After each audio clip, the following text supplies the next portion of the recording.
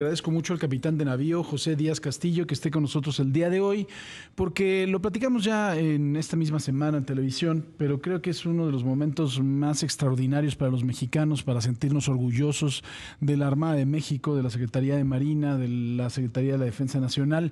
El desfile es además de todo inspirador para muchos niños y eh, la participación siempre, yo creo que a todos nos emociona sin duda. Querido capitán, bienvenido. Buenas tardes, muchísimas gracias nuevamente por la invitación. Cuéntanos un poquito, ¿cómo va a ser la participación de la Secretaría de Marina en este desfile del 16 de septiembre? Claro que sí, nuevamente continuando con la descripción de la conformación de la columna naval que tenemos para festejar los 214 años de aniversario del inicio de la Guerra de Independencia. Eh, vamos a mostrar ejes temáticos a través de los cuales queremos refrendar el compromiso que tenemos con la ciudadanía, con México y cómo lo estamos haciendo.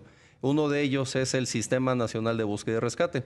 Es un componente activo de la Armada de México a través de la cual se llevan a cabo operaciones precisamente de búsqueda y rescate. Este sistema es un sistema integral de respuesta inmediata para apoyo a la población y forma parte del Sistema Internacional de Socorro.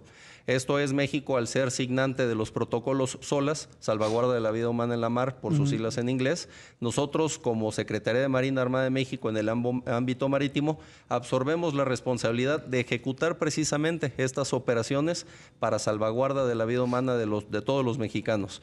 Y lo hacemos a través de 33 estaciones navales de búsqueda y rescate que tenemos distribuidas en los 17 estados costeros que si bien es una gran responsabilidad, la asumimos con mucha responsabilidad, con mucho compromiso, porque es grande el compromiso que tenemos por los más de 3 millones de kilómetros cuadrados de zona económica exclusiva y aguas interiores que tenemos que resguardar. Es una especie de labor de guardia costera.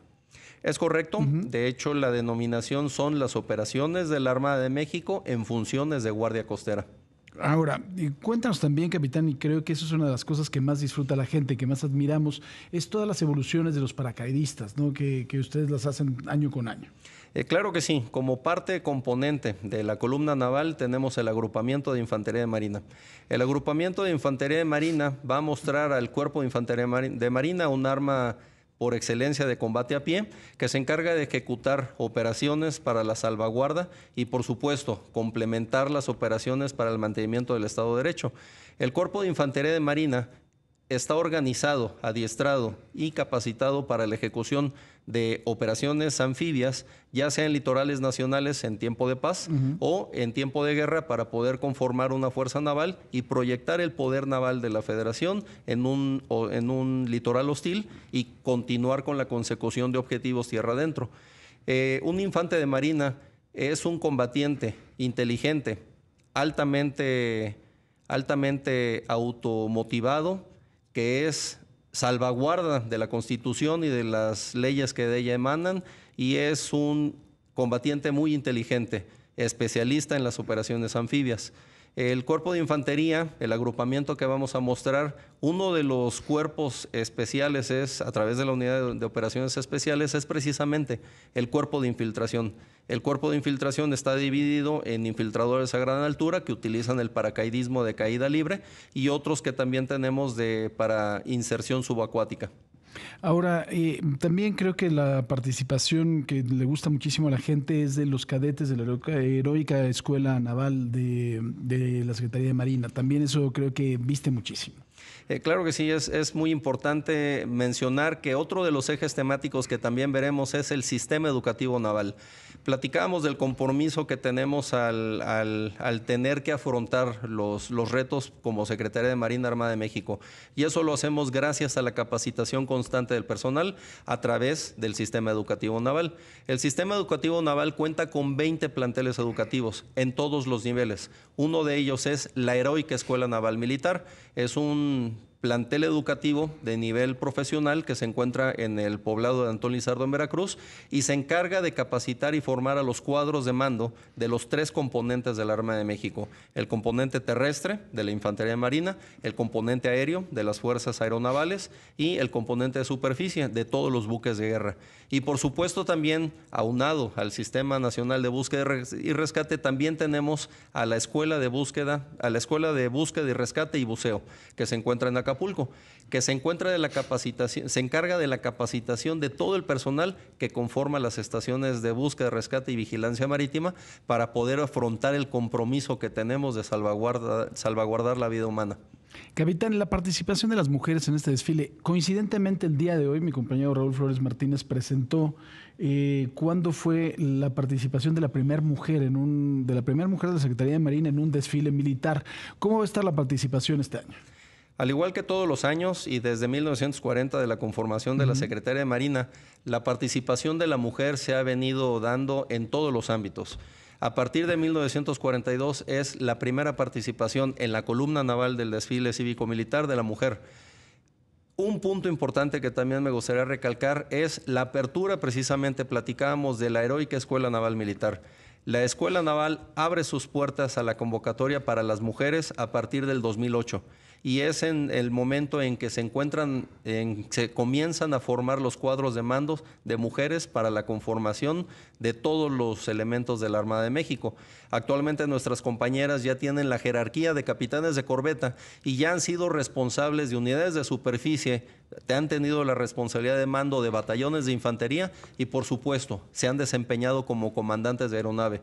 Gracias al sistema educativo naval que impulsa la capacitación constante de nuestro personal, eventualmente nuestras compañeras continuarán aumentando su jerarquía y con esto las responsabilidades y por supuesto eventualmente absorberán mayores responsabilidades en los tres componentes de la Armada. Capitán, una de las eh, de los labores también muy importantes de la Secretaría de Marina ha sido eh, su coadyuvancia en materia de lucha contra del crimen organizado, el narcotráfico. ¿También van a participar los eh, elementos de la Secretaría de Marina que están metidos en esta responsabilidad? Claro que sí. Los tres componentes de la Armada de México están comprometidos con, con coadyuvar en la seguridad interior.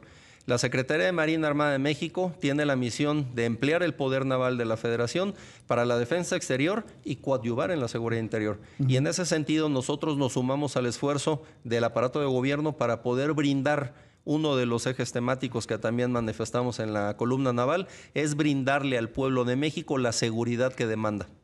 Ahora, capitán, la verdad es que yo admiro con la seriedad que se toma en todo lo que tiene que ver con el desfile.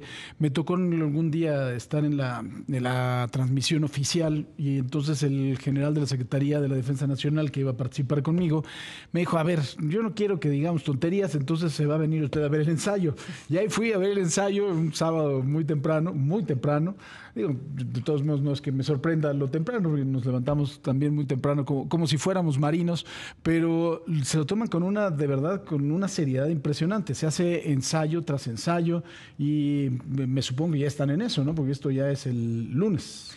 Claro que sí. Los preparativos inician desde hace más de un mes. Estamos conformando en todas las unidades, aumentando el nivel de capacitación. Se hace la consolidación de la columna naval y hoy fue un día muy importante, ya que la columna naval presentó su revista, una de los últimos las últimas fases de preparación previo al 16 de septiembre.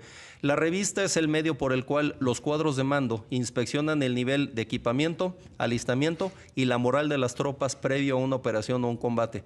Y en este caso, el día de hoy, la columna naval presentó la revista ante los cuadros de mando de la Secretaría de Marina para poder conformar la columna naval y checar y verificar los niveles de alistamiento que tenemos, porque es grande el compromiso. Entonces es grande el compromiso y lo asumimos con mucha responsabilidad. ¿Cuántos elementos y qué equipo va a participar en el desfile, capitán?